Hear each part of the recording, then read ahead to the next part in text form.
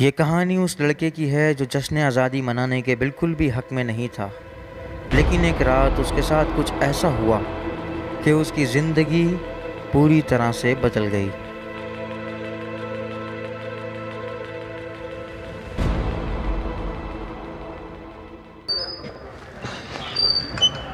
कहाँ था अबे कहाँ था क्या? जिम में था? तू कहाँ था भाई? अबे यार मैं तुझे देख रहा हूँ तेरे घर गया था मैं। अच्छा अभी चलना सामान लेना।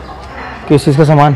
फोर्टीन अगस्त का यार। और किस चीज़ का? अबे यार एक तो तुम लोग भी। यार जा भाई। एक्सरसाइज करने दे मुझे। मेरे पास इन फजूल कामों का टाइम नहीं है। तो खुशी नहीं होती? अबे क्या खुशी यार? तुम लोग क्या बस ये यही काम रह गया है। और कुछ नहीं। यार एक्सरसाइज कर रहा हूँ। जा भाई। मैं तुझसे मिलता हूँ आगे शाम में। जा तू। आता हूँ मैं। और छोड़ छोड़। जा तू जा।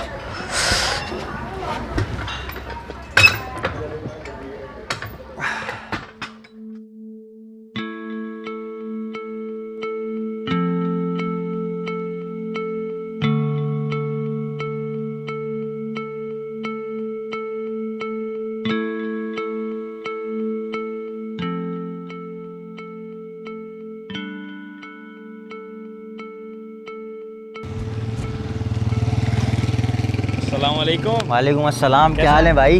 अल्लाह का शुक्र तू सुना? कब आए यार बॉर्डर से? मैं यार कल रात में ही आया। बताया नहीं यार तुमने। यार वो दरअसल चौदह अगस्त की छुट्टी लेके आया था। मैं तेरे पास ही आ रहा था चला जा घर से जाते हैं। तुम चौदह अगस्त की छुट्टी लेके आया मैंने कहा शायद वैसे ही आयोगे होगे तुम। यार अजीब आदमी तुम चौदह अगस्त की चौदह अगस्त को हमारा मुल्क आज़ाद हुआ था। तो क्या हो गया? मुल्क आज़ाद हुआ था तो उस मुल्क ने कौन सा हमें कुछ दिया है जो इस मुल्क की आज़ादी पे हम खुशियाँ मनाते फिर भाई आज अगर हमारा मुल्क नहीं आज़ाद हुआ होता ना हम अंग्रेज़ों के तलवे चाट रहे होते। अरे यार ये सब फजूल की बातें हैं, तुम छोड़ो यार। कोई और काम है तो बताओ क्या कुछ करना है बताओ चलो। भाई मैं बेकार में आया तुम्हारे पास। अरे? जा रहा हूँ। यार। और फिर वो रात आई।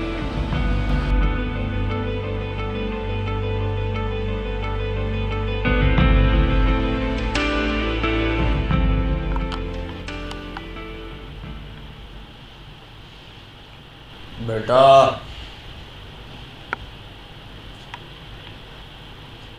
कौन? कौन है?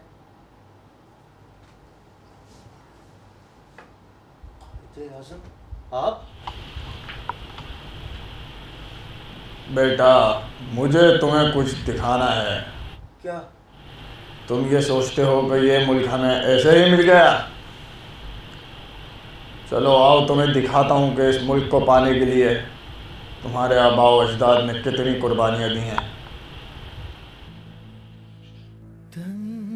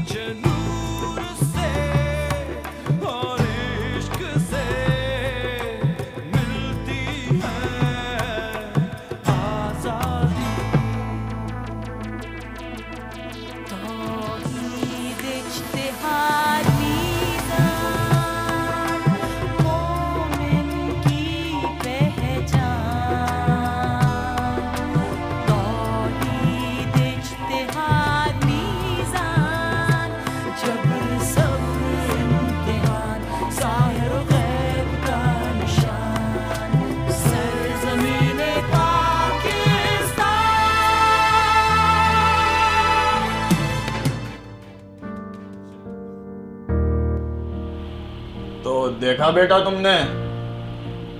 अगर आज ये मुल्क आज़ाद नहीं हुआ होता